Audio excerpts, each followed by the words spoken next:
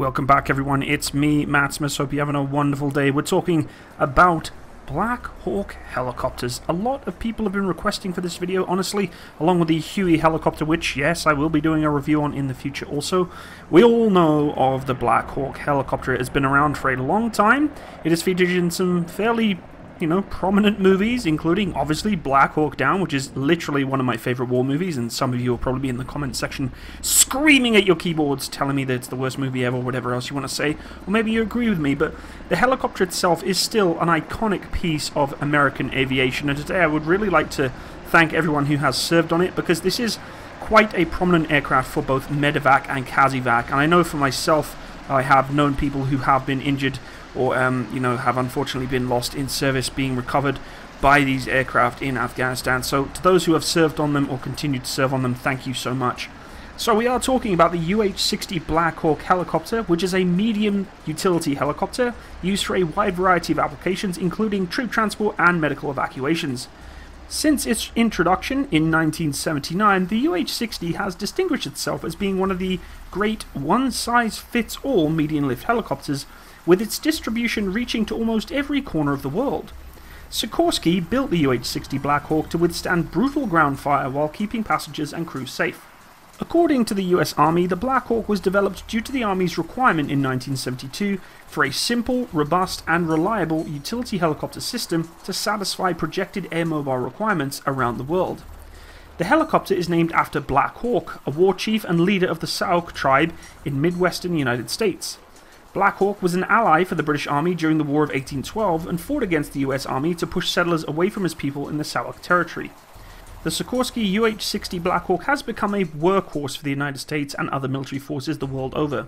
Its capabilities have increased her roles to include special operations assignments, assault, medevac, command and control, and VIP transport duty, on top of her inherent troop transport normal capabilities. This includes delivering the President of the United States. First production Black Hawk entered service in 1979 and remains a primary fixture for many of even any army today, two decades after its inception. Some 2,600 total Black Hawks have been delivered worldwide. The UH-60 Black Hawk is designed to endure the most extreme conditions and provides enhanced security for military operations. According to Sikorsky, safety features of the Black Hawk include ballistically tolerant rotor and drive systems, high mass components retained high crash conditioning, a anti-plow keel beam, reduced rollover potential with CEFS installed, energy absorbing landing gear up to 300 feet per second, crashworthy fuel cells of 65 foot drops, jettisonable cockpit doors and pop-out windows, along with wire strike protection. The Black Hawk was born out of the Sikorsky S-70 project designed by the United States Army Utility Tactical Transport Aircraft System, or UTTAS, which was a specification that began in the latter part of the 1960s. The specification itself originated on the data collected from wartime use of the UH-1 Huey Iroquois helicopters pulling multiple duties across the war zone. Review of this experience brought about the need for a capable replacement system for the immediate future. This design specification also coincided with the development of the new General Electric turboshaft engine series designated as the T700. US Army feelers went out in 1972 with both Sikorsky and Boeing Vertol both answering the call. The Sikorsky design was chosen ahead of Boeing Vertol, the YUH-61 Alpha attempt, and the Sikorsky YUH-60 Alpha prototype, which achieved first flight on November 29, 1974. The production contract was handed to Sikorsky in late 1976, with first deliveries of the Black Hawk system beginning two years later. The Black Hawk was officially introduced into service in the middle of 1979 with the US Army 101st Airborne Division replacing the vulnerable UH-1 Hueys. Blackhawks have a distinct look about them, making them highly recognisable even when compared to her contemporaries. The forward portion of the fuselage contains seating positions for the pilot and co-pilot, collectively known as the flight crew, with windowed panels above, forward, below, and to the sides. Each crew position is afforded an entry-exit door. Directly behind the cockpit, though, is the cabin that allows for the seating of some 11 personnel, depending on the specific variant or version that has been given. It also has entry-exit doors made by two double-windowed sliding doors along the side of the aircraft. The General Electric series turboshaft engines sit atop either side of the middle fuselage with a four-blade main rotor extending up between them. The undercarriage is completely fixed and features two main landing gears forward and a single tail wheel fitted on the fuselage area between the cabin and the extreme edge of the tail. Black Hawks have participated in pretty much all frontline conflicts spanning from Grenada to Afghanistan. They are even used in search and rescue helicopters in both commercial and military settings. Conventional versions of the UH-60 Black Hawk can transport up to 11 troops or carry 2,600 pounds of cargo internally. When equipped with a load sling, the UH-60 can lift and transport up to 9,000 pounds from the ground. Initial requirements for the UH-60 Black Hawk aircraft included modular design for easier repairs, high life cycle, and parts for fewer replacements, troop transport and medical evacuation capability. It has since gone on to serve a number of different capacities though, including humanitarian aid and special operations insertion and extraction.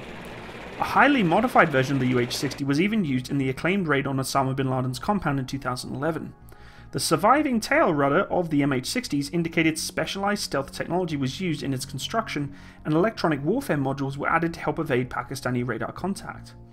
Several versions of the UH-60 Black Hawk are available for export from the United States. Foreign buyers are able to purchase specially designed versions for everything from commercial to the use of counterinsurgency or COIN operations.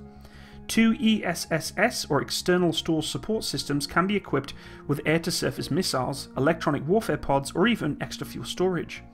When configured for extra fuel, the UH 60 Blackhawk can fly up to 1,381 miles before even needing to refuel. Some models even have a refueling nozzle to allow it to have an in flight refueling. Because this medium lift helicopter has been in service since 1979, it has undergone some really big upgrades beginning in 1986. The improved UH-60L includes a hover IR suppression system, or HIRSS, meant to mask or reduce the amount of heat kicking out of the engine. In December 2007, the United States Army ordered a new low-rate initial production, or LRIP, upgrade to turn the UH-60Ls into the UH-60Ms. In total, Sikorsky, under the contract to deliver 950 UH-60M aircraft, are to be delivered by 2025. This newest design feature is even more robust with more efficient rotors and better infrared suppression.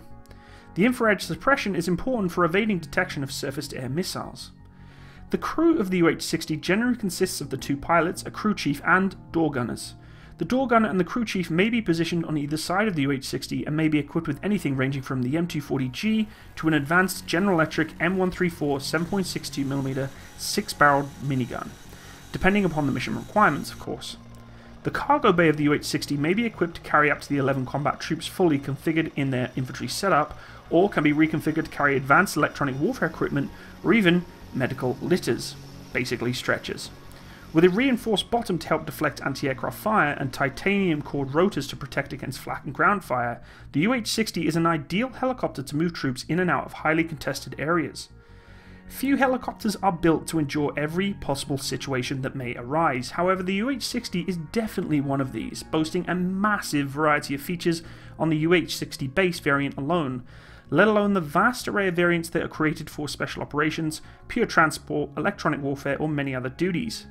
Boasting an aerodynamic design overall and high top speed, the UH-60 has an amazing survivability rate. The aircraft is able to deter most modern threats today and even survive direct hits from ground fire. The UH-60 really does remain one of the backbones of US Army aviation squadrons and can often be seen in photographs flying in tight formations everywhere from Iraq to Afghanistan and beyond. Even the multiple variants of the Black Hawk are widely renowned for their efficiency despite being modified from a utilitarian design. There is also the S-70 Alpha Black Hawk helicopter, which is flown by a crew of three, the pilot, the co-pilot and the deck crew of one in the back of the cabin. The S-70 Alpha helicopter is equipped with a glass cockpit and digital avionics. In addition, S-70 customers may select a Digital Automated Flight Computer System, or AFCS, to simply give the workload to the pilot less and less. An electronic flight information system provides primary pilotage and navigation displays for aircrew. The S-70 Alpha also has some interesting weapons. It's qualified as a launch platform for the laser-guided Hellfire anti-armor missile.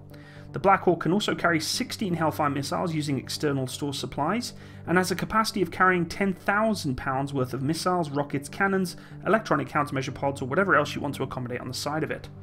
The S-70 can also carry two 50 caliber machine guns in the windows or parallel to the aircraft to fire at the ground.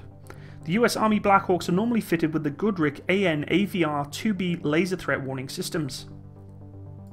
But, of course, all good things do come to an end, and as many of you who are watching this video are probably aware, the UH-60 is going to be replaced soon.